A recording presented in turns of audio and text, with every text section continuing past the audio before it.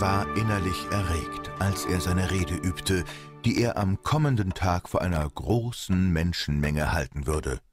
Schon immer hatte er nach Macht und Prestige gestrebt.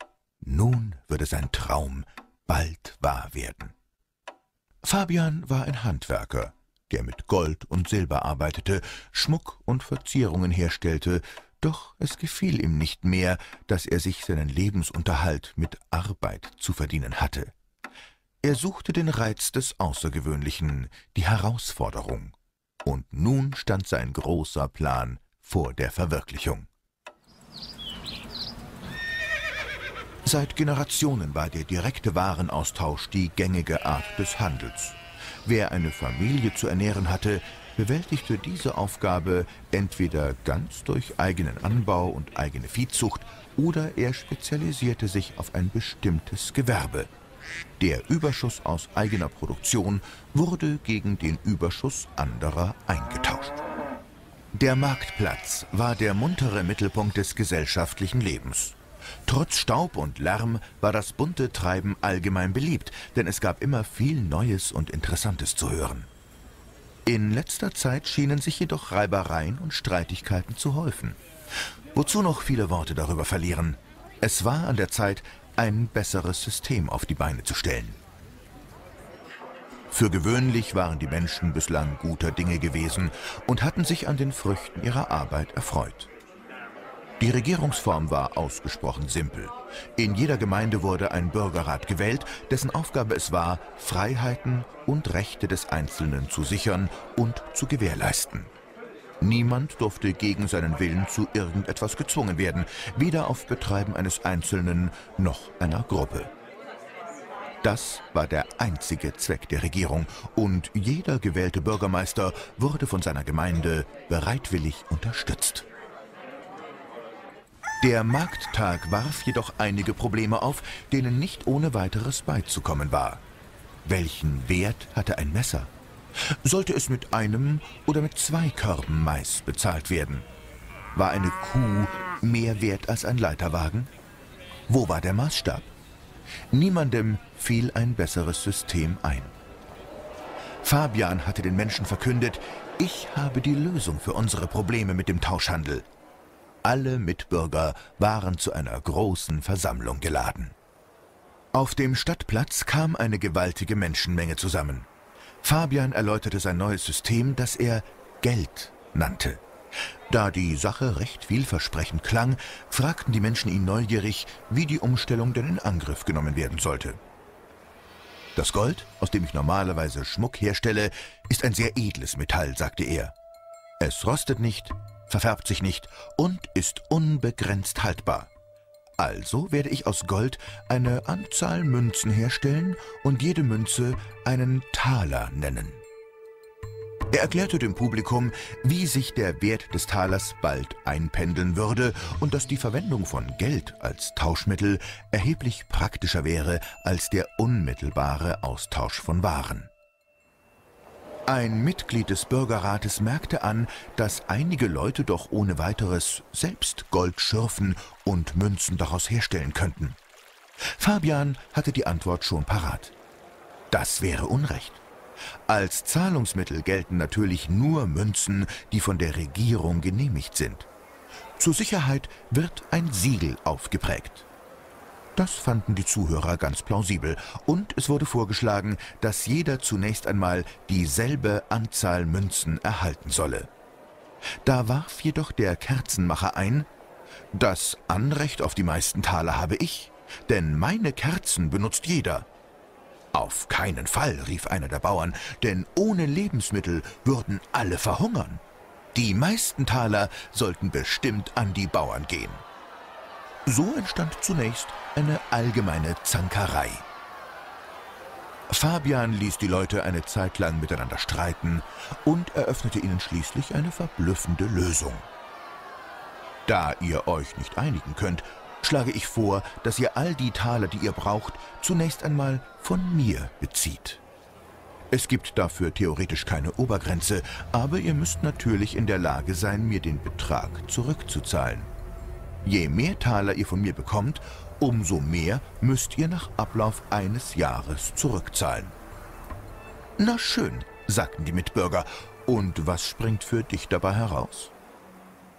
Weil ich euch eine Dienstleistung bereitstelle, erklärte Fabian, nämlich die Geldversorgung, habe ich Anspruch auf eine Vergütung. Sagen wir mal, für jeweils 100 Taler, die ich euch zur Verfügung stelle, erhalte ich für jedes fortlaufende Jahr der Verschuldung 100 plus 5 Taler zurück. Diese 5 Taler extra sind meine Leihgebühr und diese Leihgebühr wollen wir Zinsen nennen. Einen anderen Weg schien es nicht zu geben und 5% schienen eine bescheidene Forderung zu sein. Kommt nächsten Freitag wieder, dann fangen wir an. Fabian verlor keine Zeit und verbrachte die nächsten Tage und Nächte mit der Herstellung von Münzen. Eine Woche später standen die Leute vor seinem Geschäft Schlange. Nachdem der Bürgerrat die Münzen inspiziert und genehmigt hatte, liehen sich die ersten Bürger ihre ersten Taler. Manche wollten zunächst nur wenige Taler, um das ungewohnte System erst einmal auszuprobieren. Sehr bald erfreute sich das neue Tauschmittel großer Beliebtheit, sodass der Wert aller Dinge nach Goldmünzen oder Talern eingeschätzt wurde. Diese Wertzuweisung war der Preis eines Erzeugnisses und der Preis beruhte hauptsächlich auf dem Arbeitsaufwand, der mit der Herstellung verbunden war. Wenn sehr viel Arbeit erforderlich war, dann wurde ein hoher Preis verlangt. Dinge jedoch, die sich fast mühelos herstellen ließen, waren billig. In einer der Städte des Landes lebte ein Mann namens Alban. Er war der einzige Uhrmacher. Seine Kundschaft war bereit, für seine Uhren einen hohen Preis zu bezahlen. Dann aber kam ein anderer Mann, der ebenfalls Uhren herstellte und sie billiger anbot, um seinen Absatz zu steigern. Alban war gezwungen, die Preise zu senken, um nicht all seine Kunden an die billigere Konkurrenz zu verlieren.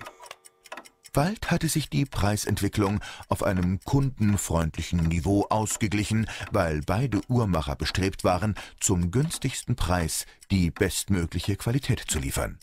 Es war ein echter und ehrlicher, freier Wettbewerb.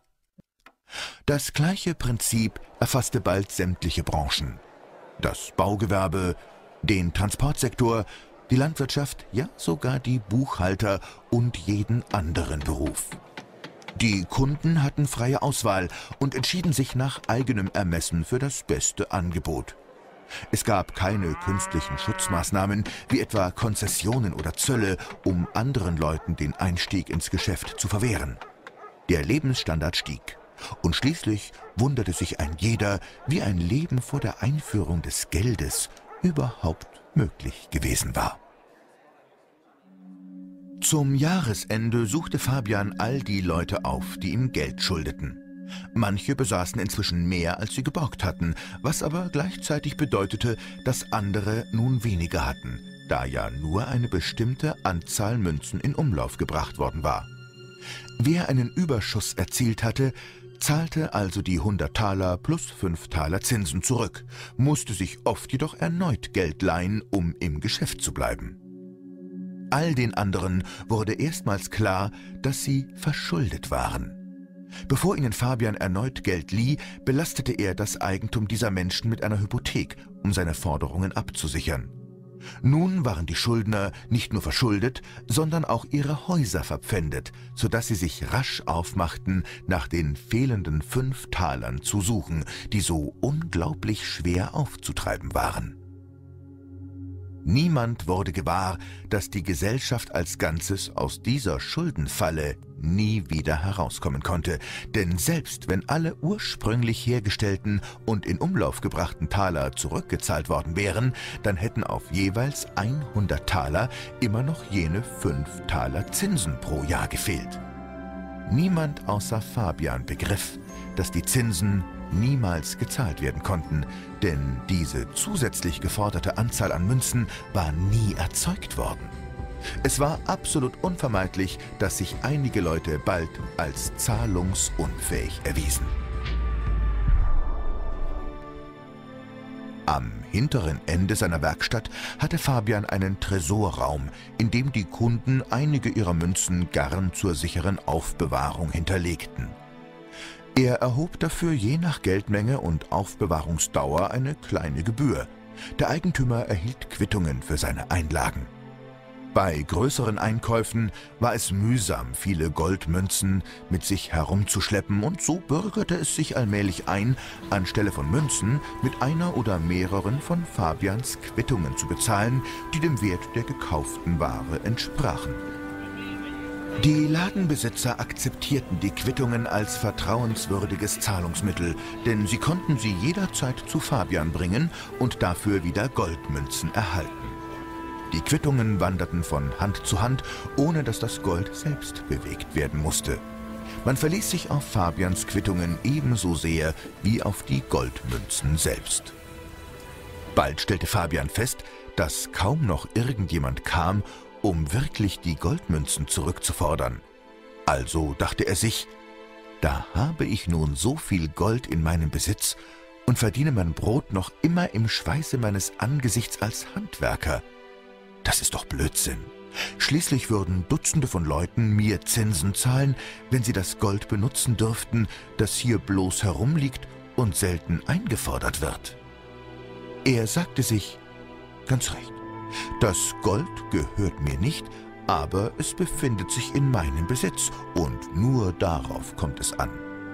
Wozu soll ich noch Münzen herstellen, wenn ich doch einen Teil der Münzen aus meinem Tresor verwenden kann?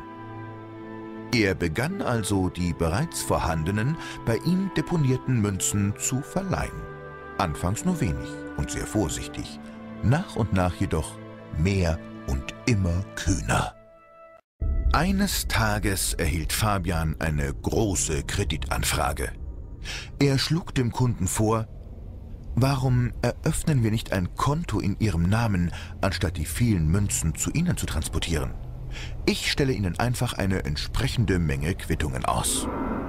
Der Kreditnehmer war einverstanden und marschierte mit einem Haufen Quittungen davon. Er hatte ein stattliches Darlehen erhalten und dennoch blieb das Gold im Tresor. Als der Kunde gegangen war, hatte Fabian ein breites Grinsen auf den Lippen, denn es war ihm gelungen, einen Kuchen zu essen und ihn trotzdem zu behalten. Er konnte Gold verleihen und es dennoch in seinem Besitz verbleiben lassen. Freunde, Bekannte und Fremde, ja sogar Feinde brauchten Geld für ihre Geschäfte, und solange sie Sicherheiten vorweisen konnten, war dem Geldverleih keine Grenze gesetzt. Fabian war in der Lage, ein Mehrfaches des in seinem Tresor gelagerten Geldes, dessen Eigentümer er noch nicht einmal war, zu verleihen, indem er schlicht und einfach Quittungen ausstellte. Und alles war in Butter, solange die wahren Eigentümer ihr Gold nicht zurückverlangten und das Vertrauen der Bevölkerung aufrecht erhalten wurde. In einem großen Buch führte er genaue Aufzeichnungen über Soll und Haben jedes einzelnen Kunden. Der Geldverleih erwies sich als ein äußerst einträgliches Geschäft. Mit Fabians gesellschaftlichem Status ging es fast genauso schnell bergauf wie mit seinem Reichtum. Er war nun ein bedeutender Mann, zu dem man aufsah. In Finanzfragen galt sein bloßes Wort schon fast als Offenbarung. Goldschmiede aus anderen Städten begannen sich für seine Geschäftspraktiken zu interessieren und eines Tages suchten sie ihn gemeinsam auf. Er weihte sie in seine Methoden ein, betonte aber nachdrücklich, dass Geheimhaltung eine unerlässliche Voraussetzung sei. Wäre das Komplott aufgedeckt worden, hätte das ganze System einstürzen können wie ein Kartenhaus. Man beschloss daher die Gründung eines Geheimbundes. Jeder Goldschmied kehrte in seine Stadt zurück und begann nach Fabians Weisungen seinen eigenen Geldverleih zu organisieren. Mittlerweile akzeptierte man Fabians Quittungen genauso wie seine Goldtaler, und häufig deponierte man sie genauso wie die Münzen in einem Tresor. Wenn ein Händler einem anderen eine bestimmte Zahlung für eine Warenlieferung senden wollte, schrieb er einfach eine kurze Weisung an Fabian, Geld von seinem Konto auf das Konto des anderen Händlers zu übertragen. Fabian konnte die entsprechende Änderung der Konten in wenigen Minuten bewerkstelligen. Auch dieses neue System wurde sehr populär. Die schriftlichen Weisungen für eine solche bargeldlose Zahlung bezeichnete man als Schecks. Bei einem weiteren Geheimtreffen weihte Fabian seine Goldschmiede in einen neuen Plan ein. Am nächsten Tag beriefen sie eine Versammlung aller Gouverneure ein, die den einzelnen Landesteilen vorstanden. Fabian trat als Wortführer auf. Die Quittungen, die wir ausstellen, erfreuen sich allgemeiner Beliebtheit, doch gelegentlich werden diese Quittungen von Fälschern kopiert. Wir müssen dem ein Ende setzen. Bestürzt fragten die Gouverneure, was sie dagegen unternehmen könnten. Fabian hatte natürlich die Antwort parat. Ich schlage vor, dass die Regierung sich künftig der Aufgabe annimmt, neue Quittungen mit komplizierten Mustern auf Spezialpapier zu drucken, die wir Banknoten nennen werden. Wir Goldschmiede übernehmen gern die Druckkosten, denn wir sparen uns damit den enormen Zeitaufwand beim Ausstellen der Quittungen. Die Gouverneure hatten weiter keine Einwände, denn man müsse die Bevölkerung natürlich vor Betrügern schützen, und Banknoten zu drucken sei eine vernünftige Lösung. Und dann noch etwas, sagte Fabian. Manche Leute sind unter die Goldgräber gegangen und stellen sich eigene Goldmünzen her. Ich schlage vor, ein Gesetz zu erlassen, wonach alle Goldklumpen gegen eine entsprechende Vergütung in Form von Münzen und Banknoten eingereicht werden müssen.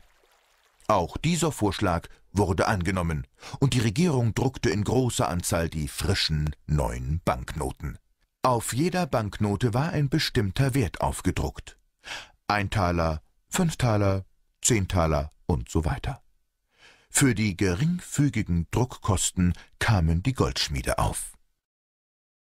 Da man die Scheine viel bequemer bei sich tragen konnte, war die Bevölkerung leicht zu überzeugen. Trotz ihrer Beliebtheit wurden die neuen Banknoten und die Münzen aber nur für rund 10 Prozent aller Transaktionen verwendet. Die Statistiken zeigten, dass 90 Prozent des gesamten Zahlungsverkehrs durch Schecks und Überweisungen abgewickelt wurden. Nun setzte Fabian die nächste Phase seines Plans in Gang. Bis jetzt hatte die Kundschaft ihm für die sichere Aufbewahrung ihres Geldes tatsächlich ein kleines Entgelt gezahlt. Um sich nun aber mehr Geld in den Tresor zu holen, bot Fabian den Sparern drei Prozent Guthabenszinsen für ihre Einlagen an. Die meisten Leute glaubten, er würde nur 2% Gewinn dabei herausholen, weil er ihr Geld bekanntlich mit 5% Zinsen weiterverlieh. Im Übrigen war man nicht geneigt, Fabians Methoden überhaupt zu hinterfragen, denn 3% Zinsen zu bekommen, war doch erheblich besser, als für die Aufbewahrung draufzahlen zu müssen. Aufgrund der vielen Sparer wuchs das von Fabian verwaltete Vermögen rapide an. Und wieder verlieh er wesentlich höhere Summen, als tatsächlich in Form von Banknoten und Münzen im Tresor lagen. Für jeweils 100 Taler Bargeld im Tresor verlieh er 200, 300 oder 400 Taler, ja, teilweise gar bis zu 900 Taler an Kreditnehmer. Er brauchte nur darauf zu achten, das Verhältnis von 9 zu 1 nie zu überschreiten, denn im Durchschnitt wollte sich einer von zehn Kunden sein Guthaben in Bargeld auszahlen lassen. Nichtsdestoweniger konnte Fabian für die 900 Taler Buchgeld, die er durch simple eigene Schecks als Darlehen vergab, ganze 45 Taler Zinsen einfordern. Das heißt 5% auf 900 Taler und Fabian behielt die 45 Taler Zinsen. Die anderen Goldschmiede verfuhren genauso. Sie alle betrieben Geldschöpfung aus dem Nichts. Einfach mit dem Füllfederhalter und verlangten obendrein Zinsen dafür. Natürlich prägten sie das Geld nicht selbst, sondern ließen die Regierung Noten drucken bzw. Münzen prägen, die dann von den Goldschmieden unter die Leute gebracht wurden. Fabian trug lediglich die Druckkosten. Dennoch erschufen sie bei der Kreditvergabe Geld aus dem Nichts und verlangten darauf auch noch Zinsen. Die meisten Menschen glaubten, um die Versorgung mit Geld kümmere sich die Regierung. Sie glaubten ja auch, Fabian würde stets nur Geldbeträge verleihen, die andere als Spareinlage bei ihm deponiert hatten. Seltsam nur, dass niemandes Spareinlage sich jemals verringerte, wenn das Geld anderweitig verliehen wurde. Hätten alle auf einen Schlag versucht, sich ihren Kontostand auszahlen zu lassen, wäre der Schwindel aufgeflogen. Eines Tages sprach ein nachdenklicher Geschäftsmann bei Fabian vor. Die Zinsforderung ist verkehrt, sagte er. Jedes Mal, wenn Sie 100 Taler verleihen, verlangen Sie dafür 105 Taler zurück. Die 5 Taler extra können niemals gezahlt werden, denn es gibt sie gar nicht. Bauern erzeugen Lebensmittel, die Industrie produziert Waren und so weiter, aber nur sie produzieren Geld. Nehmen wir an, es gäbe im ganzen Land nur zwei Geschäftsleute, die als Arbeitgeber für alle anderen fungieren. Ein jeder dieser beiden borgt sich 100 Taler. Wir zahlen 90 Taler an Löhnen und Unkosten und kalkulieren mit 10 Talern Gewinn, die in unsere eigene Tasche fließen. Die Gesamtkaufkraft wäre dann 90 plus 10 Taler mal 2, also 200 Taler. Aber um sie zu bezahlen, müssten wir all unsere Erzeugnisse für 210 Taler verkaufen. Falls es einem von uns gelingt, seinen ganzen Warenbestand tatsächlich für 105 Taler zu verkaufen, kann der andere höchstens noch 95 Taler einnehmen. Außerdem wird er einen Teil seiner Waren gar nicht verkaufen können, weil kein Geld mehr vorhanden ist, mit dem sie gekauft werden könnten. Er wird ihnen immer noch 10 Taler schuldig sein und kann sie nur zurückzahlen, indem er mehr Geld borgt. Das System ist somit unmöglich. Der Mann fuhr fort. Offensichtlich sollten Sie 105 Taler in Umlauf bringen, nämlich 100 für mich und 5, die Sie selbst ausgeben. Dann wären 105 Taler in Umlauf und die Schulden könnten zurückgezahlt werden. Fabian hörte schweigend zu und entgegnete schließlich, die Wirtschaftswissenschaften sind ein sehr kompliziertes Feld, mein Lieber. Diese Problematik setzt ein langjähriges Studium voraus. Ich werde den genannten Angelegenheiten die gebührende Aufmerksamkeit widmen, während Sie sich bitte um die Ihren kümmern. Sie müssen effizienter arbeiten, die Produktion ankurbeln, die Kosten senken und ein besserer Geschäftsmann werden. Dabei helfe ich Ihnen jederzeit gern. Der Besucher ging unzufrieden seines Weges. Hier stimmte etwas nicht. An Fabians Methoden war grundsätzlich etwas faul und den Fragen war er geschickt ausgewichen. Aber Fabian galt landläufig als der Experte und Einwände wären zwecklos. Denn schließlich schien die Wirtschaft zu boomen und das Land einen enormen Aufschwung zu verzeichnen. Um die Zinsen für das geborgte Geld zu decken, mussten die Händler ihre Preise erhöhen. Daraufhin beklagten sich die Arbeitnehmer, ihre Löhne seien zu niedrig. Die Arbeitgeber wollten aber keine höheren Löhne zahlen. Sie verwiesen auf die Gefahr eines Bankrotts. Die Bauern wurden für ihre Erzeugnisse nicht anständig bezahlt und viele Hausfrauen klagten über die allzu teuren Lebensmittel. Schließlich kam es zu Streiks, einem bis dahin unbekannten Phänomen. Immer mehr Menschen wurden auch von Armut heimgesucht und selbst Freunde oder Verwandte hatten nicht die Mittel, um ihnen zu helfen. Der eigentliche Reichtum des Landes geriet weitgehend in Vergessenheit. Die fruchtbaren Böden, die großen Wälder, die Bodenschätze und Viehbestände. Alles drehte sich nur noch ums Geld, dieses scheinbar höchste Gut, das jederzeit Mangelware war hinterfragte das System. Man glaubte nämlich, die Regierung habe all diese Mechanismen im Griff. Ein paar Leute waren in der Lage, ihren Überschuss zusammenzulegen und freie Kredit- oder Finanzinstitute zu gründen. Damit ließen sich 6% Zinsen oder mehr herausholen, was Fabians Zinsangebot von 3% deutlich übertraf. Allerdings konnten diese freien Firmen nur Geld verleihen, das wirklich ihr Eigentum war. Im Gegensatz zu Fabian waren sie nicht mit der seltsamen Befugnis ausgestattet, Geld aus dem Nichts zu erschaffen, indem es einfach mit dem Füllfederhalter in die Bücher eingetragen wurde. Diese freien Finanzinstitute irritierten Fabian und seine Kumpane, daher gründeten sie kurzerhand eigene. Die Konkurrenz wurde größtenteils aufgekauft, bevor sie überhaupt aufblühen konnte. In kürzester Zeit befanden sich alle Finanzinstitute in ihrem Besitz oder unter ihrer Kontrolle. Die gesamtwirtschaftliche Lage verschlechterte sich weiter. Die Arbeiter meinten, ihre Chefs würden zu viel Profit einstreichen. Die Arbeitgeber wiederum hielten ihre Arbeitskräfte für faul und ineffizient. Alle schoben sich gegenseitig die Schuld in die Schuhe. Auch die Gouverneure fanden keine Lösung. Außerdem musste doch, wie es schien, vorrangig das Problem der Armut behoben werden. Es wurden Sozialprogramme eingeführt und jeder Einwohner gesetzlich verpflichtet, Beiträge zu leisten.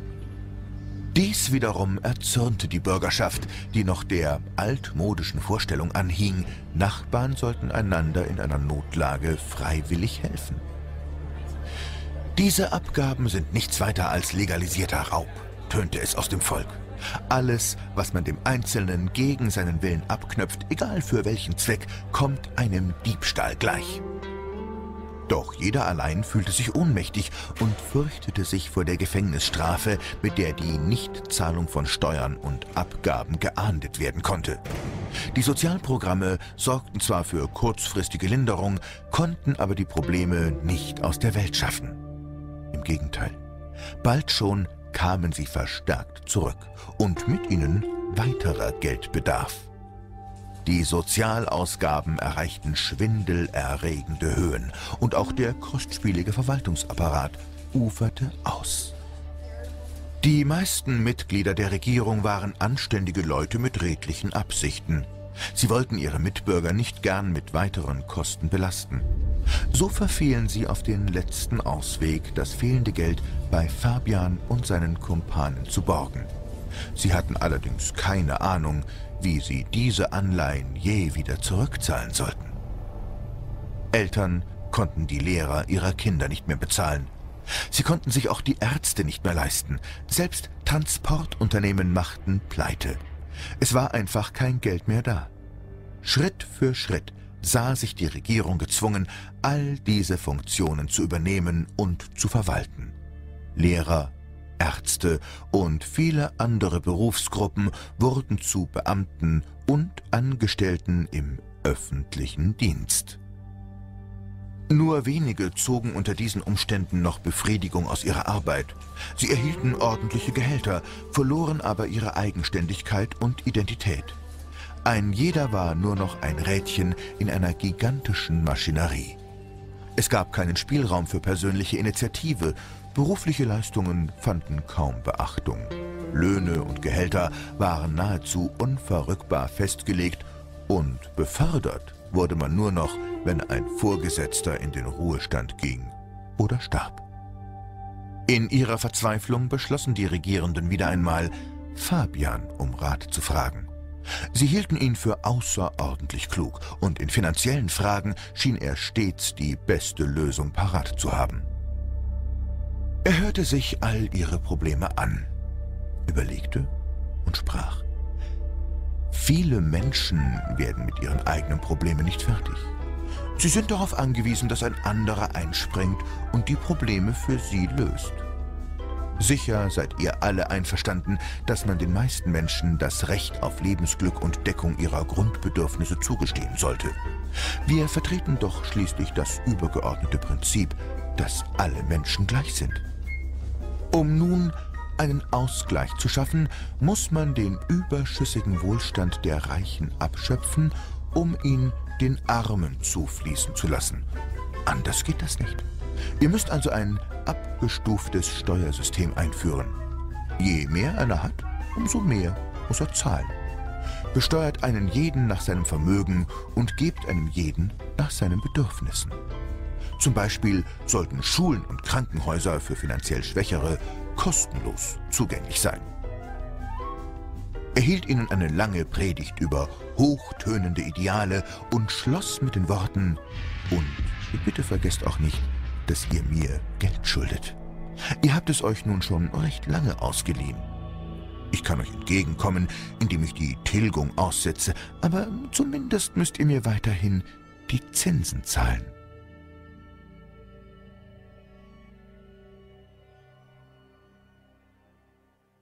Niemand hinterfragte Fabians Philosophie. Die Regierung führte tatsächlich eine abgestufte Einkommensteuer ein. Je mehr jemand verdiente, umso höher lag nun der Prozentsatz, nach dem er besteuert wurde. Niemand mochte die Einkommensteuer, aber alle zahlten, weil sie sonst ins Gefängnis gekommen wären. Die Kaufleute sahen sich abermals gezwungen, ihre Preise anzuheben.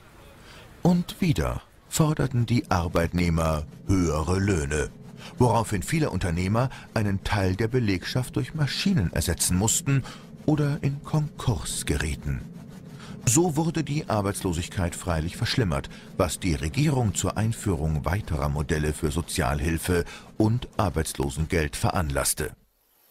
Die Regierung führte Zölle, Subventionen und andere Schutzmaßnahmen ein, um verschiedene Industriezweige vor dem Zusammenbruch zu bewahren und Arbeitsplätze zu retten. Hier und da begann man sich zu fragen, ob der Sinn der Produktion wohl eigentlich darin lag, Waren herzustellen oder lediglich für Arbeitsplätze zu sorgen. Mit weiterer Verschlechterung der Lage versuchte die Regierung durch Lohn- und Preiskontrolle sowie komplexe Reglementierung ein wenig Stabilität zu wahren. Mittels Mehrwertsteuer und allen möglichen Abgaben sollte der Fiskus gestärkt werden. Jemand stellte einmal fest, dass ein Laib Brot auf seinem Weg vom Mähdrescher bis zur Hausfrau mit über 50 verschiedenen Steuern belastet war. Nun schlug die Stunde der Experten, die manchmal sogar ins Kabinett aufstiegen, meist jedoch in undurchsichtigen Gremien zusammentrafen und Jahr für Jahr nur inhaltslose Papiere vorlegen konnten. Bestenfalls empfahlen sie eine weitere Umstrukturierung des Steuersystems, aber die Gesamtsumme der Steuern und Abgaben stieg unaufhörlich weiter an. Fabian forderte unerbittlich seine Zinsen ein. Dieser Posten verschluckte einen immer größeren Teil des Steueraufkommens. Damit entstand eine ganz neuartige Form der Politik, nämlich Parteipolitik. Die Leute stritten miteinander, welche Partei die Probleme am besten lösen könnte. Man diskutierte über Persönlichkeiten und Ideologien, man warf sich Etiketten an den Kopf und veranstaltete über alles ein großes Geschrei, nur nicht über das eigentliche Problem. In den leitenden Gremien machte sich eine stille Verzweiflung breit. Schließlich kam es so weit, dass in einer Stadt der fällige Zinsbetrag die Summe des erwirtschafteten Einkommens überstieg. Im ganzen Land wuchs die Menge der nicht bezahlten Zinsen und auch auf die überfälligen Zinsen wurden jetzt Zinsen erhoben, der sogenannte Zinseszins. So konnte der konkrete Reichtum des Landes allmählich von Fabian und seinen Kumpanen übernommen werden, sei es durch Übertragung des Eigentums oder wachsende Kontrolle in den Aufsichtsräten. Aber noch war die Kontrolle nicht allumfassend. Die Geheimbündler wussten, dass sie erst dann sicher im Sattel sitzen würden, wenn sie jeden einzelnen Menschen perfekt unter der Knute hätten. Überall fehlte es an Geld. Viele Menschen waren arbeitslos und verarmten. Die Sozialsysteme konnten sich nicht um alle kümmern, sodass das Volk allmählich aufbegehrte. Fabian überzeugte die Regierung, zwei Fliegen mit einer Klappe zu schlagen. Nämlich erstens, ein Krieg sei das beste Mittel, um die Menschen im Kampf gegen einen gemeinsamen äußeren Feind wieder zusammenzuschweißen.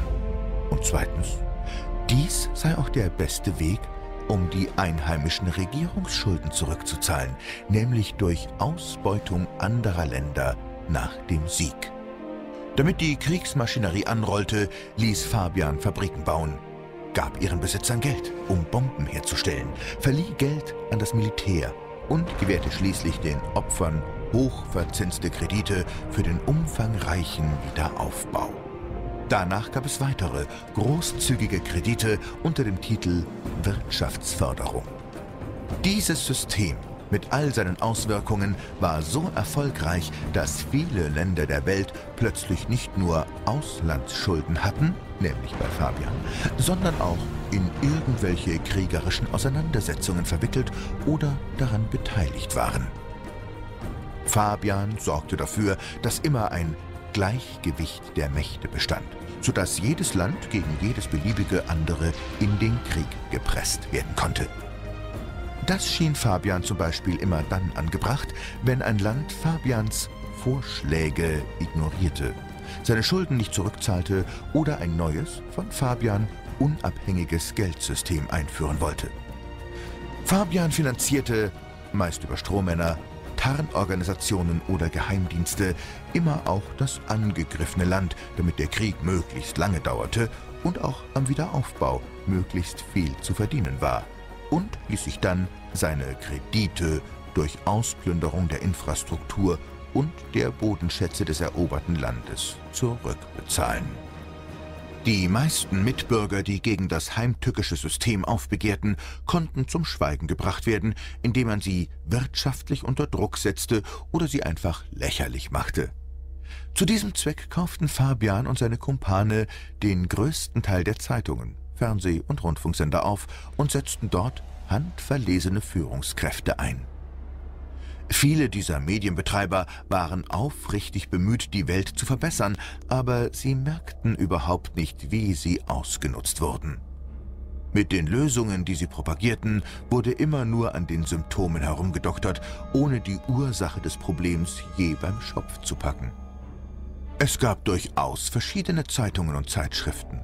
Manche für den linken Flügel, manche für den rechten, wieder andere für die liberale Mitte, ebenso auch Zeitschriften für die Arbeiter, andere für die Unternehmer. Man durfte lesen und schreiben, was man wollte, aber nur solange man nicht versuchte, dem eigentlichen Problem auf den Grund zu gehen. Fabians großer Plan stand kurz vor der Vollendung. Das ganze Land und nicht nur dieses Land war schwer bei ihm verschuldet. Über das Bildungssystem und die Massenmedien beherrschte er nicht nur die Gemüter, sondern sogar den Verstand der Menschen. Was die Bevölkerung dachte und glaubte, lag im Endeffekt ganz in Fabians Hand. Wenn ein einzelner Mensch viel mehr Geld besitzt, als er zu seinem Privatvergnügen jemals ausgeben konnte, welchen besonderen Genuss kann er dann aus der Welt noch herausholen? Für die selbsternannte Elite gibt es darauf eine klare Antwort. Die Macht. Die nackte, ungezügelte Macht über andere Menschen. Die Idealisten waren sehr geschickt in den Medien und in der Politik platziert und so tatsächlich entschärft worden. Doch die wahren Kontrollfreaks mit jener speziellen Herrschermentalität, die Fabian suchte, fand er in den Machtjunkies der Finanzdynastien. Die meisten der ehemaligen Goldschmiede hatten eine solche Mentalität entwickelt. Ihr maßloser Wohlstand befriedigte sie nicht länger. Sie waren auf der Suche nach dem Kick einer neuen Herausforderung. Macht über die Massen war das ultimative Spiel. Diese Leute meinten, sie seien allen anderen überlegen. Zu herrschen ist unser Recht und unsere Pflicht. Die Massen wissen nicht, was gut für sie ist. Man muss sie zusammentreiben und herumdirigieren. Wir dagegen sind zum Herrschen geboren. Überall in Stadt und Land kontrollierten Fabian und seine Kumpane zahlreiche Kreditinstitute. Mag sein, dass es Privatfirmen mit unterschiedlichen Eigentümern waren, aber aller scheinbaren Konkurrenz zum Trotz arbeiteten sie eng zusammen. Mit staatlicher Absegnung war eine Zentralbank eingerichtet worden, deren Gründung nicht einmal auf eigenem Kapital beruhte, Nein, auch hier beruhte die Geldschöpfung darauf, dass die Spareinlagen der Bevölkerung belastet wurden. Schulden, wohin man schaut. Nach außen hin erweckte dieses Reservenzentrum den Anschein, auf seriöse Weise die Geldversorgung zu regulieren und irgendwie eine Regierungsfunktion zu verkörpern. Aber seltsamerweise wurde in das Vorstandsgremium dieser Zentralbank niemals ein gewählter Regierungsvertreter oder leitender Staatsbeamter aufgenommen. Die Regierung verschuldete sich nicht mehr direkt bei Fabian, sondern konnte sich an die Zentralbank wenden, wobei als Sicherheit für die Kredite die Steuereinnahmen des nächsten Jahres galten. Dies stand in Einklang mit Fabians Plan, nämlich den Verdacht von seiner eigenen Person abzulenken und stattdessen eine Verfahrensweise der Regierung vorzuschieben. Im Hintergrund behielt er natürlich alle Fäden in der Hand. Fabians indirekte Kontrolle der Regierungsgeschäfte war derart perfekt, dass ihm einmal die Prahlerei herausrutschte. Wenn ich das Geld einer Nation kontrolliere, dann kann es mir gleich sein, wer die Gesetze macht. Es war einerlei, welche Partei regierte, denn Fabian beherrschte das Geld, die Finanzen, das Lebensblut der Nation. Die Regierung erhielt das Geld, aber für jede weitere Anleihe wurden Zinsen in Rechnung gestellt. Immer größere Beträge strömten in allerlei Sozialleistungen und die Regierung konnte kaum die Zinsen bezahlen, von einer Rückzahlung der Hauptschuld ganz zu schweigen. Gelegentlich fragte noch jemand, wenn Geld ein von Menschen geschaffenes System ist, dann wird man es doch bestimmt an die Bedürfnisse der Menschen anpassen können, so dass es dem Menschen dient anstatt ihn zu beherrschen. Oder? Doch Leute dieses Schlages wurden immer seltener, und ihre Stimmen gingen unter in dem höllischen Lärm, den die ewige Suche nach den fehlenden fünf Talern für den Zins hervorrief. Die und mit ihnen die Parteifarben kamen und gingen. Schwarz, rot, gelb, grün, aber das Prinzip blieb das gleiche.